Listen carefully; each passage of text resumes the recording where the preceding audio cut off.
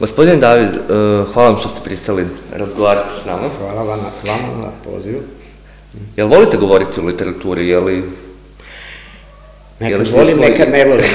Mislim, zavisi prvo od mog raspoloženja, a drugo zavisi od pitanja. Ja nisam neki, celo života čitam. Mislim, i mislim da je čitanje za pisce jako važno i sve to, i volim knjige i više ne, nemam gde da držim knjige ispod kreveta, na krevetu, u orman, ali ovaj, e, ne mogu da kažem da sam stručnjak za teoriju, recimo književnost i tako dalje. Iako sam ja predavao dramaturgiju na fakultetu dramskih umetnosti. Jer, znate šta, to su te oblasti gde je znanje e, i nepresušno, gde se svaki čas otkrija neka nova mogućnost, nova teorija, uopšte literatura je stvaranje novih mogućnosti. Tako da, neki put se osetim i sam kada razgovaram u čorso kako, određeno, ne znam više šta bih rekao.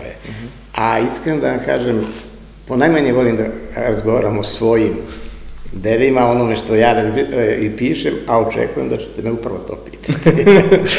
Dobro, malo, malo hoću, ali ćemo ići jednim drugim redoslijedom.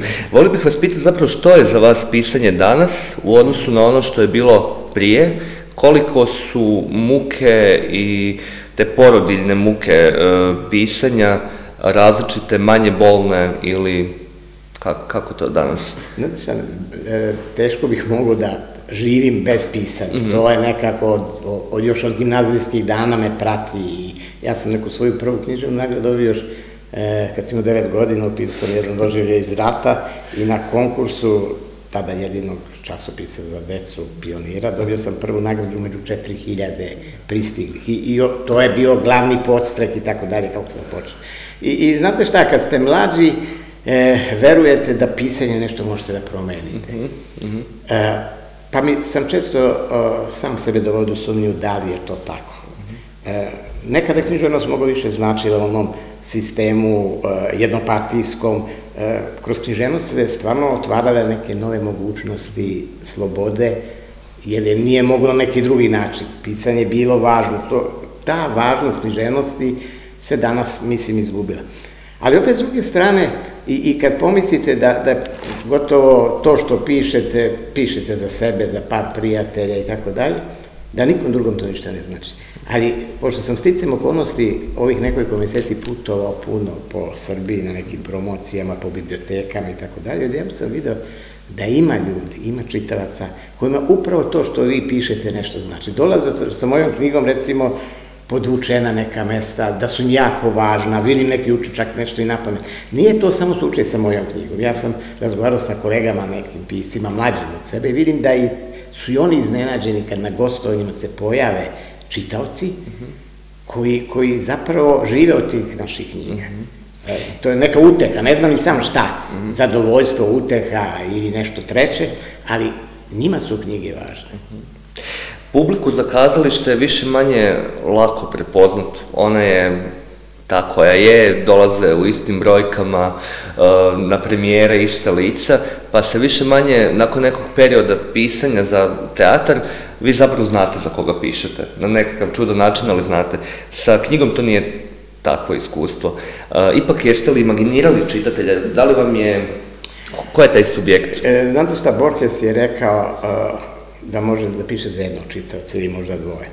Ovaj, I kaže, kada je objavio svoje maštarije, pa su mu rekli da je prodato deset primeraka, kaže, ja idem ulicom, ne mogu da zamislim deset pisaca. I taj podatak sam našao, to je zanimljivo i kod Kafke, mm koji isto kaže, kad je napisao neke od svojih prvih priča, i koji su objavljen, ode kod knjižara i kaže prodato, kaže, on ima utisak da je bestseller, da, znate, jer deset čitalaca stvarno ne možete zamisliti i to već ima, znači da je prihvaćeno, ajde da kažemo. I da... Praktično mi svi pišemo za jednog čitalaca. Mm. Koga zamišljamo, može biti taj čitalac i nepostojeći, ali pišemo za nekog određenog i tako. Mm -hmm.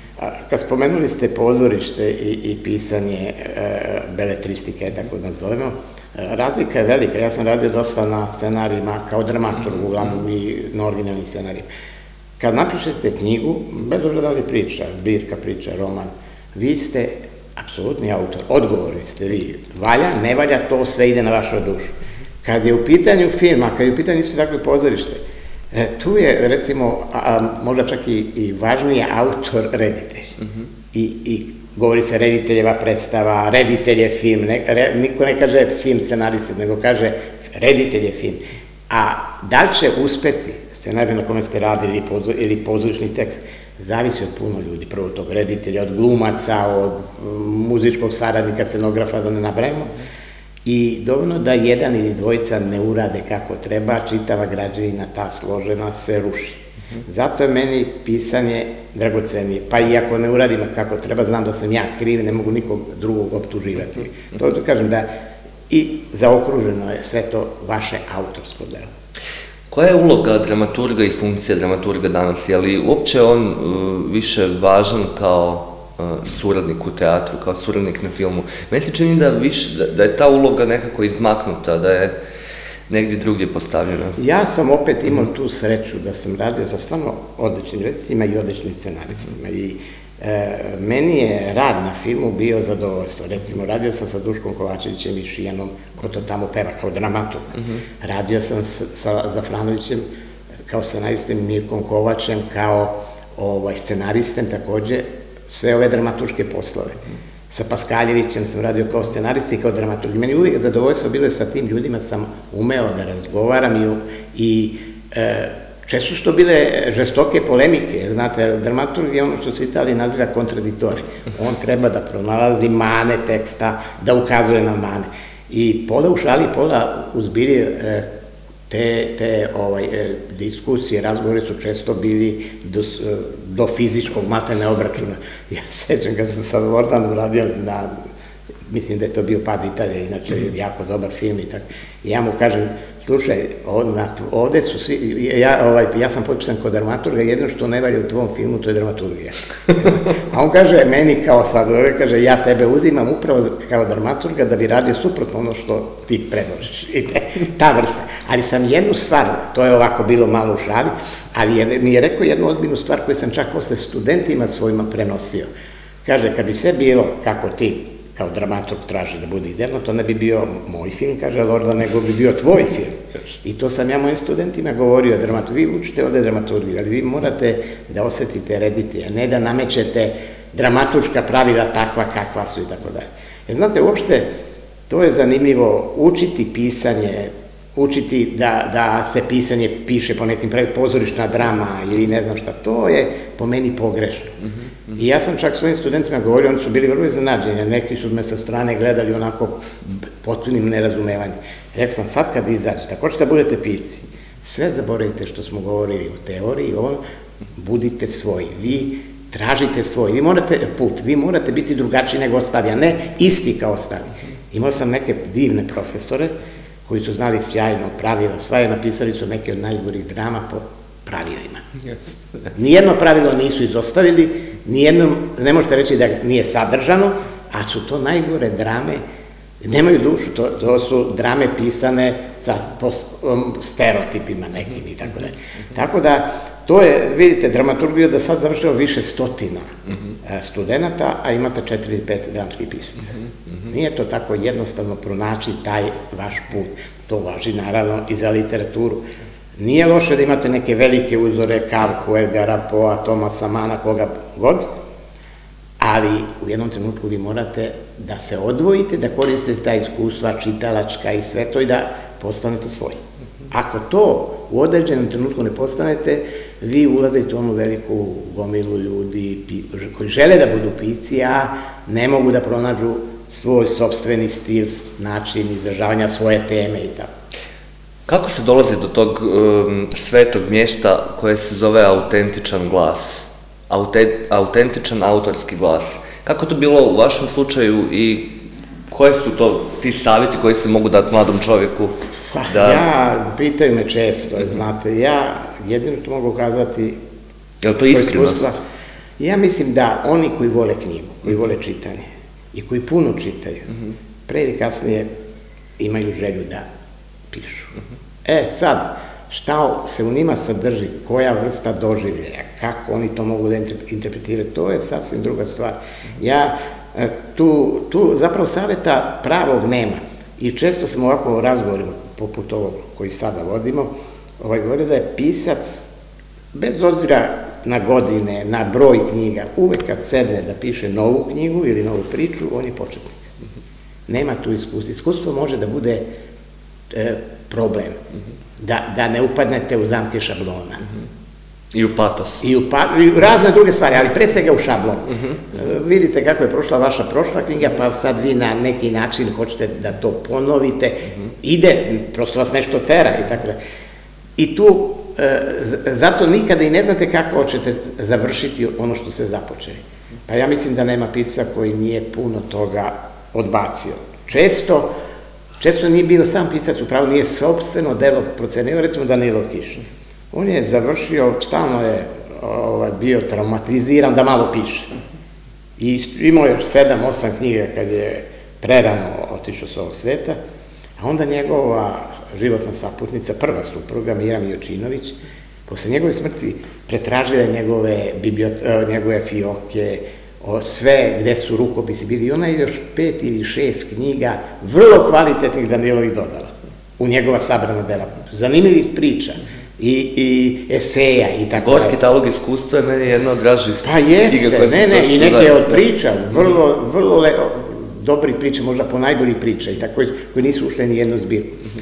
E, to je jedan slučaj, ali ima slučaja kad se pisci malo sapletu, pa objavi ono što ne bi trebalo da objave, znate. -hmm. Tako da, e, to je muka spisateljskog posla, po meni najveća. To što kažem, ovaj, nikada ne znate da ste na pravom putu dok radite. Nema to veze da li imate 70 ili 40 godina, da li imate 20 ili dve knjige, uvek je taj isti problem.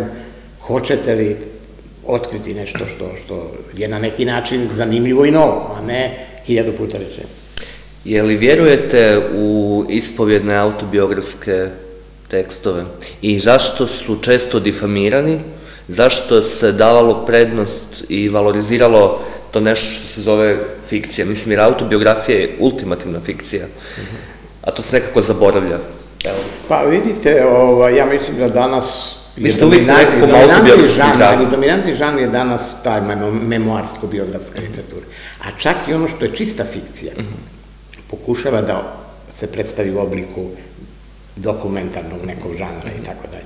Ja sam jedan od onih koji u ovim godinama sada mnogo rađe čitam ono što je zasnovano na nekim biografskim detaljima, elementima, i da je čista biografija. Kad vidim da je neka biografija nekog pisa koga ja cenim, volim, ja to odmah skačem, odlazim u knjižaru, kupujem, jer je to ono što mene zanima. Nekako, e, mnogo su sad ređe te knjige, žanorske, druge, ne znam, ja sam volio recimo naučnu fantastiku, volim i danas, volim horor žan, ali sve teže sad dolazim posle klasika koje sam prosto Edgar Allana Poe ili Lovecrafta ili ne znam, znate mislim, ili što se fantastike tiče posle Borgesa otkriti sad nešto novo, vrlo je redko, vrlo teško. A biografije ljudi otkrivaju.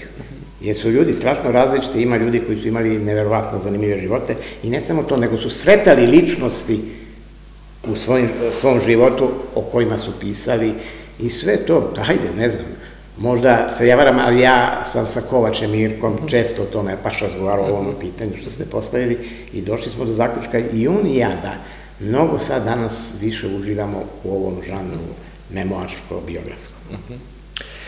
U jednom od razgovora koje ste vodili, koje sam pročitao dok sam se pripremao za ovaj razgovor, rekli ste da, da je kod zla, koja je nekako tema uh, kojom se bavite već cijeli život, čini mi se, na ovaj ili onaj način. Moj kritičar, ja, i ja sam malo posle stvarno prelistavao svoje priče i praktično prve priče, to je jedna od dominantnih tema, ne, ali ne sam mojom željom da o tome pišem, nego je to nešto što ja očinu nosim u sebi kao neki, neko pitanje zašto, kako. Rekli ste da je ono samo razarajuće. Ono što me zanima s druge strane te medalje gdje kao stoji dobrota, šta god to bilo, ili dobro, um, i ono je isto samo razarajuće. Na isti, čini mi se, način kroz isti mehanizam kao i to Pa oni se dopunjuju, dopunjuju se. Mada, znate šta, ja sam u prvom trenutku kad sam pisao, recimo, ovaj svoj posljednji roman, uh, uh, ja sam čak hteo da stavim pod naslov roman o zlu. Onda sam shvatio da je to pretencijozno, mm -hmm. strašno. I ono što sam pročito, vidio sam da je jako malo toga napisano O zlu. O zlu. Nema, zapravo nema objašnjenja zašto čovek čoveku nanosi zlo, najveće zlo čovek čoveku nanosi. I onda da li je zlo ovo što se događa tsunami, zemljotresi, užasi, meteori, meteoriti i ne znam šta sve, e, ne preti zemlji i tako je. Živimo u jednoj potpunoj neizvesnosti kakav će sutrašnji dan biti, pa ti ratovi, pa e, znate, tako da ovaj, i, i zapravo ja mislim da, da pisac nije ni pi, namera moja bila, niti pisac treba da se bavi onim čime treba se bave psiholozi, psihijatri, naučnici, mm -hmm. da otkrivaju te elemente, ajde, u ljudskoj prirodi, ne znam šta, pisac pripoveda. Mm -hmm. E sad se to dogodilo da ja zapravo od početka svog nekog literarnog stvaralaštva ja pripovedam o zlu, o raznim oblicima, ali Ali vi ne, ne, ne vjerujete u ove dire, um, konkretne narativne linije, vi zapravo uvijek malo pobjegnete u tekstovima. Čini mi se da nikada ne radite te koherentne dramaturgije koje kao roman očekuje. Pa znate šta, zapravo moji romani tri, koliko sam sad napisao, svi se mogu gledati na određen način, malo strožije kao zbirke priče, mm -hmm. koje se međusobno prožimaju. Ali to, više puta sam objašnjavao, to nije postupak koji sam ja izmislio, nego sam preuzeo. U jidiš literaturi, mm -hmm. literaturi koja je pisana na jidišu, kod Hasida i tako dalje, to je jedan od postupaka e, literarnih književnih koji je mene fascinirao. Da vi krenete s jednom pričom i negde iz sredine te priče počnete drugu priču, pa iz druge priče odete u treću priču, pa se vratite u prvu priču i kad se sve to sklopi, vi imate jednu vrlo zanimljivu dramatočku konstrukciju. I moji romani jesu zasnovani na toj vrsti, da kažem, dramaturgije, što opet malo, malo je komplikovano kada radite, jer nikad ne znate kako će na kraju ispasti, da će se sve to složiti jedno sa drugim, da će sve te priče na kraju delovati kao jedna celina, na, na, ne prevlada jedna priča, nego da se sve to dobro sklopi. Ali to je jedno zadovoljstva koje ja imam kad pišem. Upravo to slaganje, neka slagalica, pravljenje neke slagalice. Ne znam da li bih mogao, umeo, da li bih hteo da pišem jedan e, roman koji ima uh, onu klasičnu literarnu priču, početak, sredina, kraj ide nekim svojim određenim tokom. Ne, kod mene se stvarno to prepriče jedno sa drugim. A u ostalom mi neki kričevi su rekli da sam ja zapravo uvek bio pripovedač, mm -hmm, da su -hmm. moje priče ipak ono nešto dominantno u mom opusu. Ja s tim ne slažem, ali mm -hmm. vidim da to neki moji prijatelji misle tako. Vaš suvremenik i sugovornik i prijatelj Danilo Kiš je, čini mi se, u jednom intervju baš iz, u, koji, je, koji je stavljen u knjigu Gorki Taug iskustva, rekao da je literatura kao i život sve i da nema žanrova i da, da, da, da se to treba zaboraviti. Slažete li se sa tom tezom? Pa, Mislim, ja sam sad to ne, malo ne, parafrazirao. Znam ja, ali, prilike da. Pa znate šta, to odgovara Kiš je rekao da nije volio da ga se stavaju ni jevrijsku književnost, mm -hmm. ni srpsku, ni hrvatsku, ni u crnogorsku i tako dalje. On se slagao opet spominjem Borkesa koji je rekao da postoji bratstvo pisaca. Mm -hmm. Da zapravo svi pisci pišu jednu jedinstvenu veliku knjigu. Mm -hmm. e, to. I, i me, meni je to blisko, da neko daje veći doprinos, neko daje manji doprinos toj veliko jednoj knjizi i tom nekom, ajde, bratstvu pisaca, ali to je čudno jedno bratstvo gde se mnogi mrze dotle da su spremni da se fizički pobiju, ne podnose jedni druge i sve to, ali isto tako utica i postoje veliki, međusobni i vi ne možete to sad, ne, kao počnete da pišete kao da padne, ste pali sa neba. Postoje pre vas neki pisci, žanrovski i koji su neki vaš izbor po afinitetu, znate, tako da Te stvari nisu nikad bile jednostavne, ali one funkcionišu po, same po sebi. Imam jedan mali set pitanja iz ove takozvane, uh, ćemo to zvati real politike. Uh, čitao sam intervju sa novinarkom, kolegicom, što li ona sve, Oljom Bečković. I onda je ona rekla jednu zanimljivu stvar koja se tiče, sad, koja će biti uvod moju pitanje, uh, Ona govori da je u Beogradu zapravo 90. kad je bilo najcrnje, postojalo puno više različitih mišljenja i više različitih medija koji su djelovali nego što je danas. Uh, je li vi se slažete da je tome tako i da zašto je zapravo ponovo nastupio taj komunikacijski mrak, odnosno jedno umlje. To jeste delimično tačno. Zapravo tačno da se ne zna da je u Beogradu, pa ja, ja sam evo bio jedan od osnivača prvo nezavisnih pisaca, koji su osnovni u Sarajevo, a, a taj inicijativni odbor su čini Mirko Kovač, Žika Pavlović, ovaj, Vido Stanović i moja malenkost spis iz Beograda.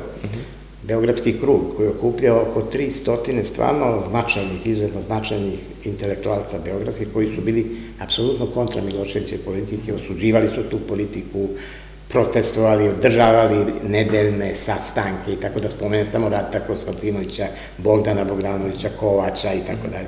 I Čolovića, puno bi Vesna Pešić, Latinka Perović i tako dalje. To jeste, ali nije bilo dovoljno toga.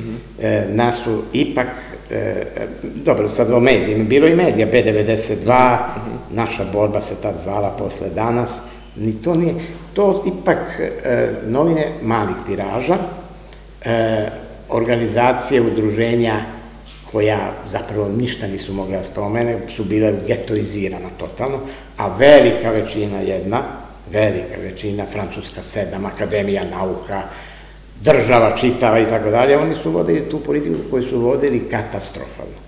I pitanje je da li bi ta politika mogla biti tako uspešna pod znacima navodna, navoda, zapravo je katastrofalna, da nije imala podršku najvećeg broja intelektualaca iz akademije i iz oblasti književnosti, umetnosti uopšte, tako.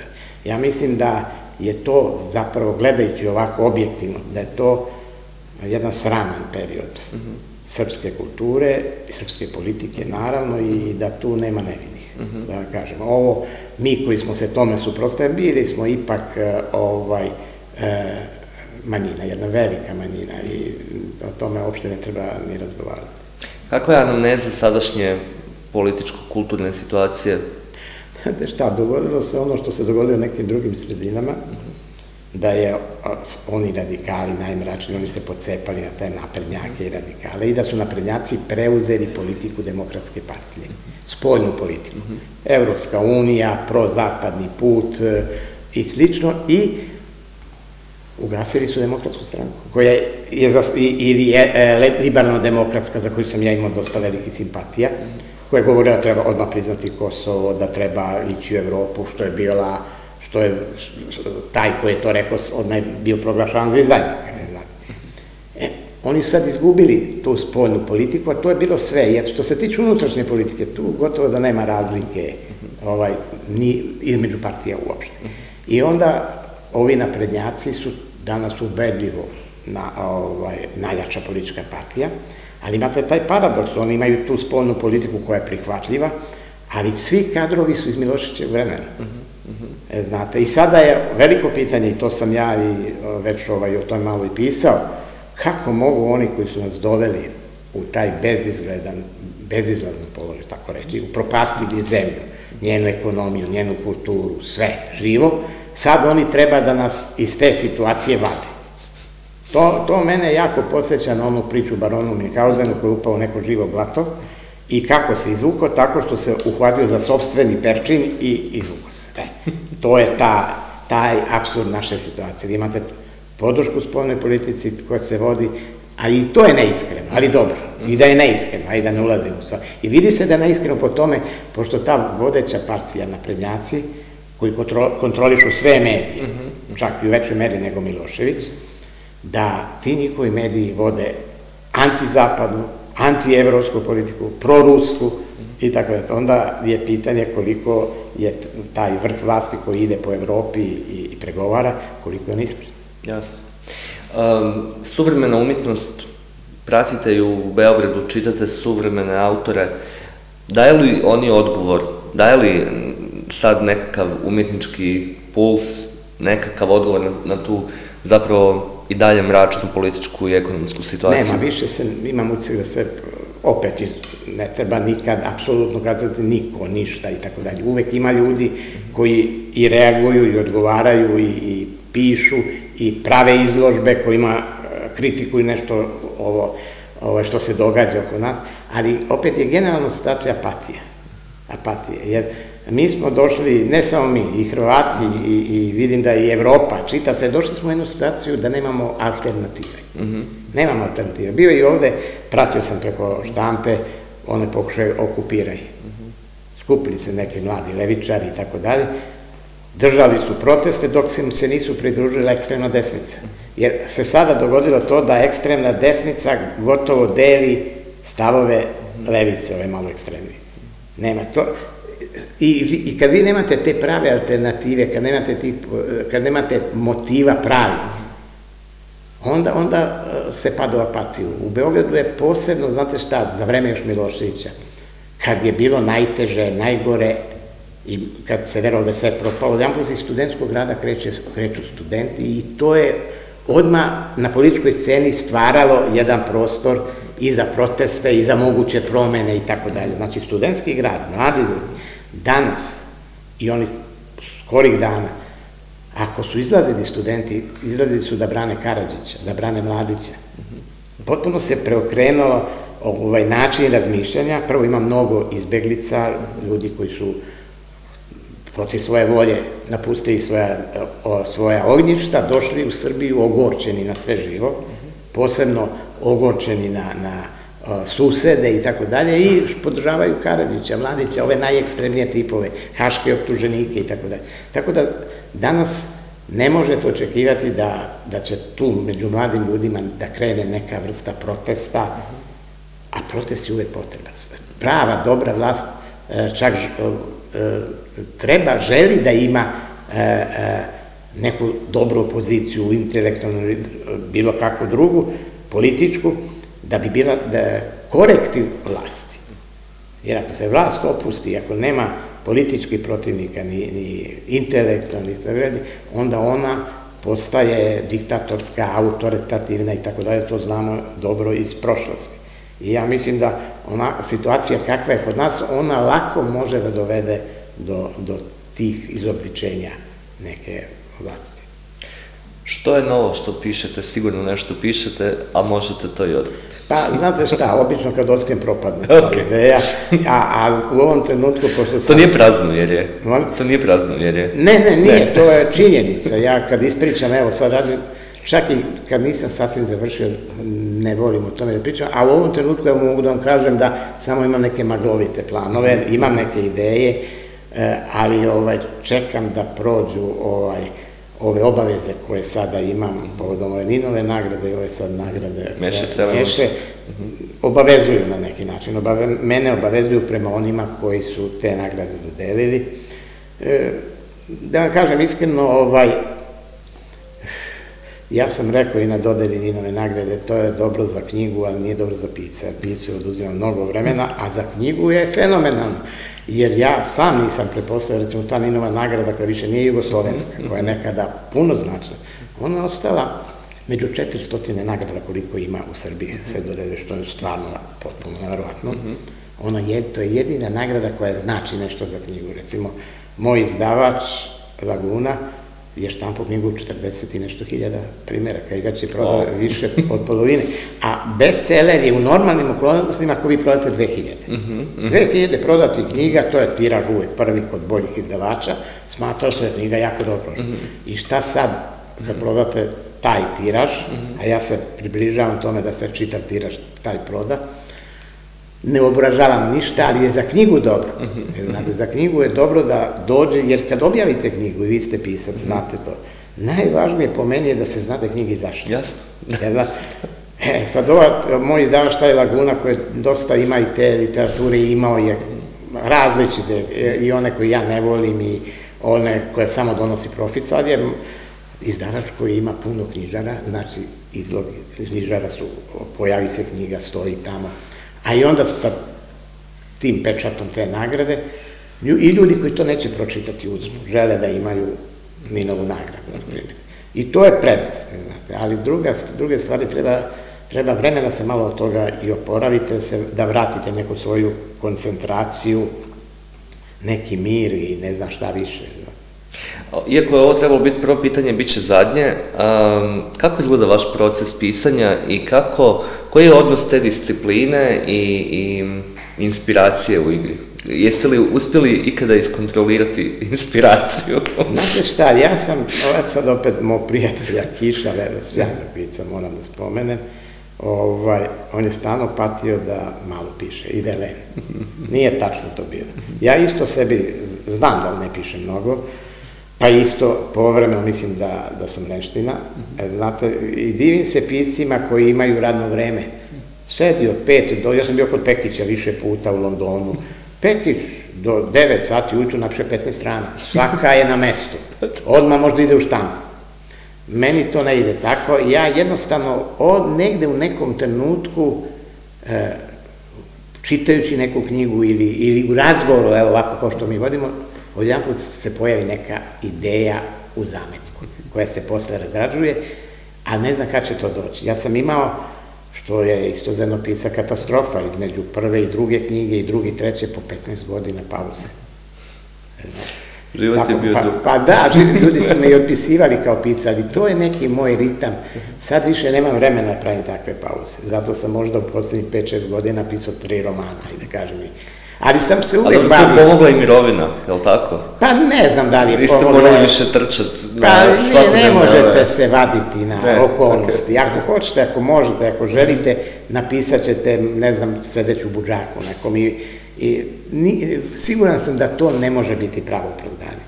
Ali neko, imate svoj unutrašnji ritam, pa napišete recimo 15 priča, pa završite nešto, zaokružite i imate u sebi da ste sve rekli. Pa treba vremena da sazru neke nove ideje, da, da se nešto novo javi, da, da, i ja volim da priča bude drugačija nego priče koje čitam, a da opet budu inspirisane nekim pričama, Jasno. od tih koje sam pročitao. Teško je naći tu meru u svemu tome, Voleo bi, stalno kažem, evo sad sam završio, više neću. Sećam se Tišma, ovaj, Aleksandar Tišma, isto jako dobar pisac. Ja sam s njim volao da razgovaram, inteligentan čovek, ima romane, priče, odlične priče, romane jako dobre.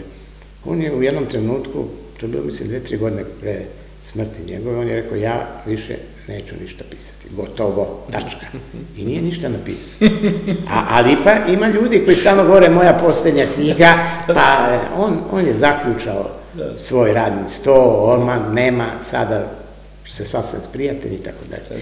Tako da, možda je ovo moja posljednja knjiga, volio bi da napišem još jednu knjigu, pre, e, je- još jedan roman, taj maglovito što mi se vrti po glavi, a onda, jedan put mi kaže, pa čekaj, možda bi mogu još jednu knjigu priča. Pa da, pa znam, A mora biti a hoće- hoćemo li neku predstavu dočekati nekakav Ne, dramski znate tekst? šta, nisam ja sa pozorištem, nisam imao sreće, a nisam imao izgleda ni dara. Ja sam, još kao mlad pisac, dobio na konkursu Telegrama Zagrebačkog lista prvu nagradu za svoju prvu dramu, koja je igrana po nekim provincijskim pozorištima. Sad kad gledam, nisam baš nešto oduševljen. I nisam, iako sam se bavio pozorištem, pisao, predavao, e, znate, dijalog pisati to je nešto drugačije od ovoga što se piše proza. Duško Kovačević, moj dobar drug svoje vremeno i prijatelj i, radio kod mene u redakciji, kaže, pa kako, brate, pa sedi, pa dijalog, pa to je najlakše dijalog. Njemu jeste. Kao jedan moj školski drug, još da smo bili u gimnaziji, kad odemo na letovanje i žurke, on dođe za mikrofon, zapeva. Ja nemam sluha. E on meni kaže, ma slušaj, svako ima sluha, stani, samo pusti glas.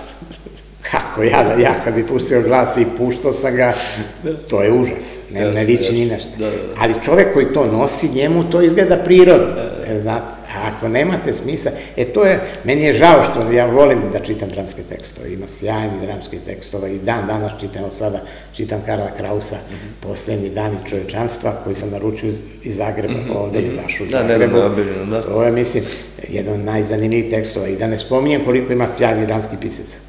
Ali e, e, sada kad sam ipak ovako kao ličnost možda došao ove godine i sazrao na neki način, shvatam da je pisanje drame nešto posebno. Dramaturgija nema veze sa tom vrstom pisanja, to je, kažem, kontradiktorno. Ali ovaj, možete vi i predavati o dramaturgiji, možete komentarisati, pisati kritiku na krajeva, ali pisati dramski tekst, to je nešto zašto morate biti posebno talentovani. Hvala na ovom razgovoru. Molim, Eto.